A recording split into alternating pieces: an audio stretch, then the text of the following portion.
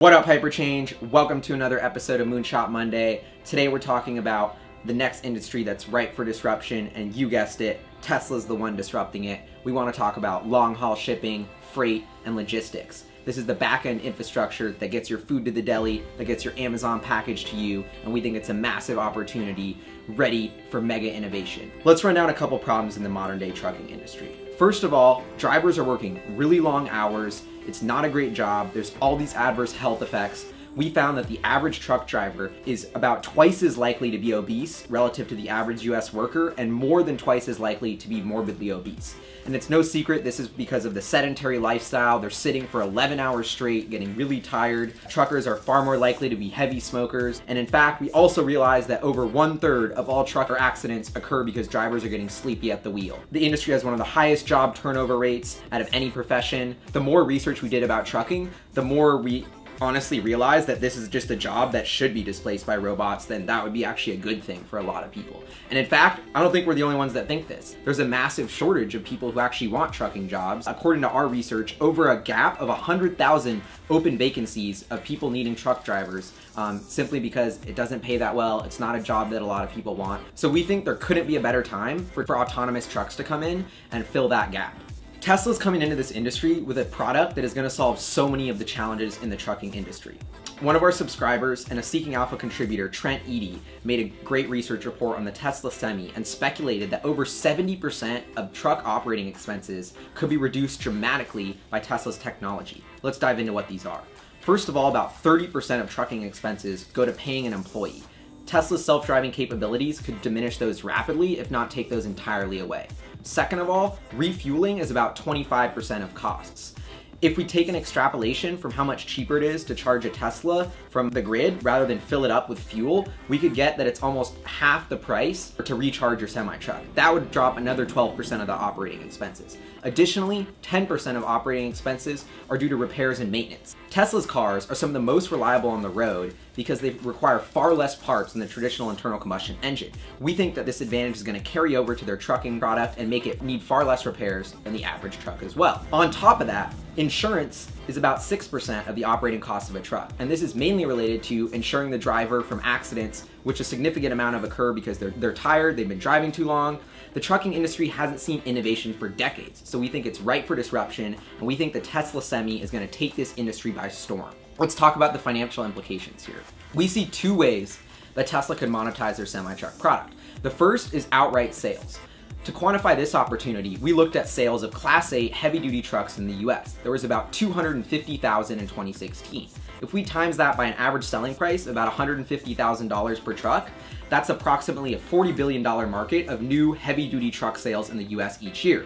That's already pretty exciting. In fact, Daimler, to look at it from the company perspective, is one of the world's largest truck operators, and their truck division did about 33 billion in revenue last year with 2 billion in profits. That's about a 6% operating margin.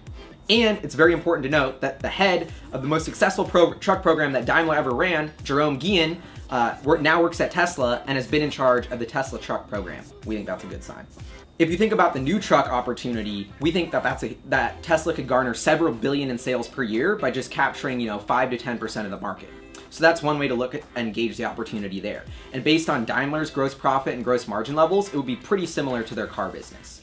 Another way to look at it is a freight network. We think that Tesla, much like its rumored Tesla network or autonomous Uber competitor, they could do a similar thing for trucks, where they're running routes along main highways and operating the trucks all themselves, and then uh, carriers who need to ship things uh, can just pay for spots on those trucks, and Tesla would really be the fleet operator. We're not sure which business model Tesla will choose, but we think if they're selling trucks outright to operators, then that'll be a much lower gross margin business, probably around 20 to 25%, like their cars. But if they're operating a freight network, then that would be a very high margin service business. But either way, we think there's a several billion dollars per year in gross profit opportunity. If Tesla captures 10 billion out of those 40 billion in new US truck sales at a 25% gross margin, that's 2.5 billion in gross profit, which is gonna be a pretty big impact. And we think if they're operating a freight network, they could get a similar 1 to 2 billion in revenue from operating that network at much higher margins. So either way, we're looking at a potential impact of several billion dollars to Tesla's gross profit from a successful launch of this trucking product.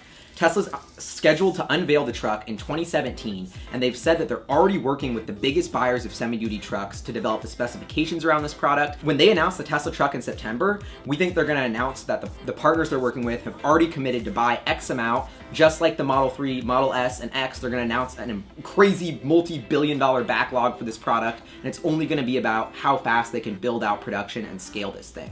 So we think that's gonna get people really excited and allow investors to start quantifying the truck opportunity in September, and that's why we think it's important to highlight now, because the market's gonna start valuing Tesla Freight as part of this thesis, bull thesis for the company in a month when we get more details on it.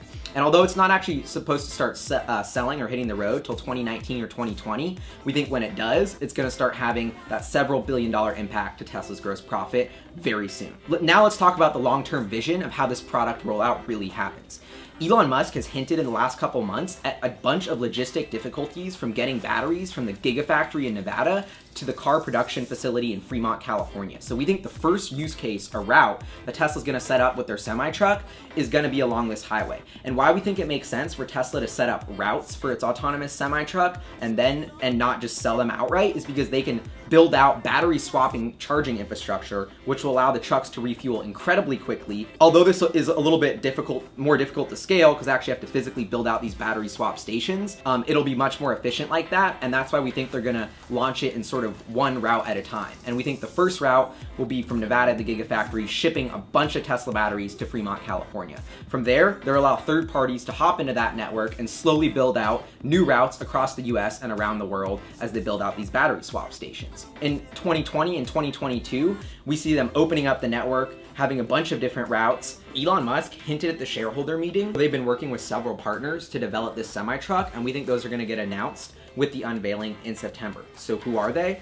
We think two no-brainers are Walmart and Amazon. These companies both operate massive shipping networks. They both need to expand capacity. They're both always trying to be on the cutting edge of more sustainable and more efficient trucks, and they have the biggest budgets to invest in new truck infrastructure. So we think it makes total sense for Tesla to be the backbone of Walmart and Amazon's e-commerce businesses and deliver their goods worldwide. So we think that the market is gonna get so excited when they realize that Tesla is not only launching on the electric vehicle trend, but they're launching onto the Amazon delivery trend. Amazon's already been making a push into trucks. In fact, in late 2015, it was reported they were buying thousands of trucks, not operating themselves, but just the trailers because they needed additional capacity. And if you think this through, USPS, how you get your mail, FedEx, UPS, all of these delivery companies, if Tesla's truck is really cleaner and more efficient and cheaper to operate, are gonna be switching over to this semi-truck product the opportunity is massive. On a global scale, logistics and freight is a $1 trillion opportunity. You know, in 10 years, in 2027, we think this is gonna be an incredibly exciting new future. Um, so there's gonna be less pollution, it's gonna be cleaner, it's gonna be cheaper, it's gonna be safer. Like,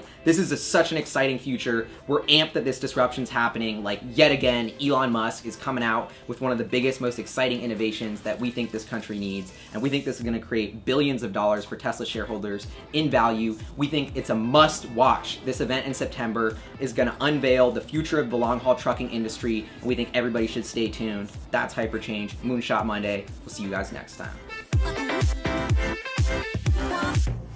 It's the new economy, is like you buy something on Amazon, a robot plucks it from the warehouse, goes and puts it in a self-driving Tesla truck. The Tesla truck drives for 12 hours, does a battery swap along the way overnight, never stops, the next morning you wake up, that thing you just ordered on Amazon is right at your door. Actually, wait, I probably forgot a step where the Tesla truck goes to like some regional Whole Foods, and then whatever you're actually buying gets shot up to the roof, and then a drone picks it up and does the last mile delivery to your house.